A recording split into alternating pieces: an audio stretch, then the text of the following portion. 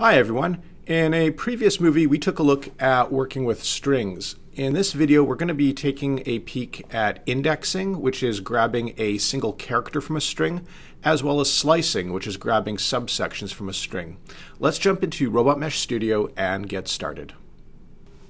Okay, so I'm inside of a Robot Mesh Studio Python mimic, and I'm just going to create a variable, and I'm going to call it my string. Uh, what you call the variable really doesn't matter.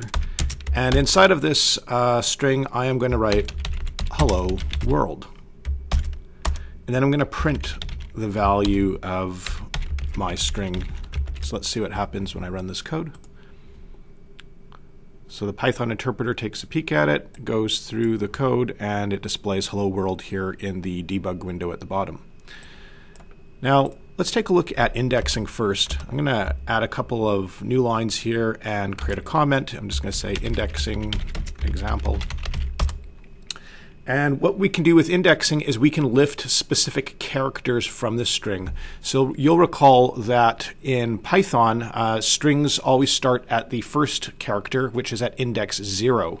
So if I go and print uh, my string, and then have my square brackets and put in zero for the first address of the first character and run this code. Let's see what happens.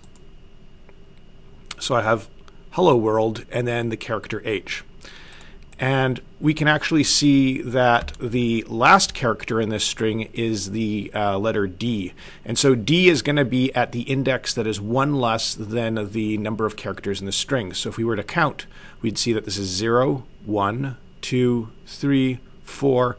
The empty space counts as a character. It's five, six, seven, eight, nine, and 10.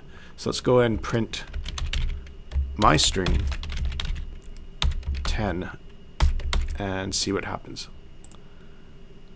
So now I have hello world, the first character, which is H, which lives at index uh, 0, and the last letter D, which lives at index 10. Now, interestingly enough, indexing can work from front to back as well as from back to front. And the way we can reference uh, reverse index is that we can actually use a negative number. So let's try this again. This time I'm going to print the first character. Uh, the first character I'm going to print is going to be this letter D here. So before I said that this is at index 10, if I go my string minus 1, which is its reverse index, and run this code, I also get the letter D. And then if I wanted to say lift this letter W, I have a couple of different choices. I could go from front to back, so 0, 1, 2, 3, 4, 5, 6 for the W. So I could go print my string 6. And maybe what I'll do here is I'll just get rid of this previous index. Or I could go from the reverse index from W. So I could go minus 1, minus 2, minus 3, minus 4, minus 5, and I'll get the same thing. And let's put a minus sign in there, and we will run our program. So now it says hello world, it returns the W, and it also returns the W when using the reverse index. Next, let's talk about string slicing. Uh, slicing is going to allow us to grab a subsection of the string. So here I'm going to call this slicing example. And I'm going to create a variable called uh, char list, and it's just going to contain a sequence of characters. In this case, it's going to be A, B, C, D, E, F, G, H, I, J, and we'll stop it there. So when I print char list, we see it just returns that sequence of characters and we see that below. What if, though, if I wanted to grab just the first three characters in this sequence, say uh, the characters A through C? To do that, I could use what's called a string slice. So here I can stop my program. I'm going to add another line. I'm going to go print char list. And this time I'm going to use opening and closing square brackets. So the first argument I'm going to specify is going to be where do I want to start my slice which is going to be this character A. So I'm going to use index 0. Then I'm going to type a colon. And if I want to grab everything up to C, the stop position for my slice is going to be one character more uh, than the sequence I want to include. So if I wanted to include characters A through C, I would have to stop my slice at D, which lives at index 3. Oops. And I'll put another square bracket, and I'll close this print statement, and let's run this and see what happens. So now here's my original uh, sequence, A through J, and then the character slice returns just A, B, and C because I've specified 0 as my starting position and 3 as my stop position.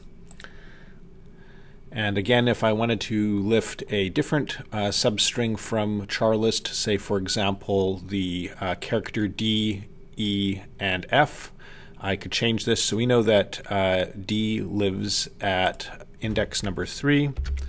And so that's where we're going to start our, our slice.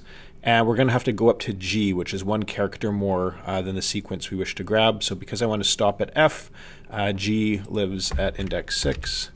And let's run our code and see what happens. So now I have my original character string and then the characters D, E, and F. Now, if I wanted to be tricky and grab all of the characters in the substring except for the letter J, I could do this. I could uh, print char list.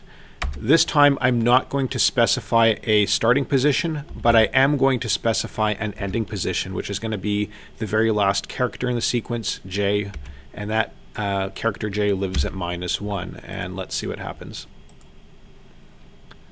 So now it returns the string that is pretty much all of the original string, uh, less the last character, which is J. Similarly, um, I could go and grab all the characters starting at character C all the way to the end, and that would just be, um, let's see, character that lives at index 2, because C is 0, 1, 2, and then I'm going to leave this part empty. And if I run my program, we'll see that now I just have the string starting at character C all the way through the end. Well, that's it for indexing and slicing. If you found this video useful in any way, uh, please consider giving this video a like. You might also want to consider subscribing to this channel for more updates on working with Robot Mesh Studio and Vex robots.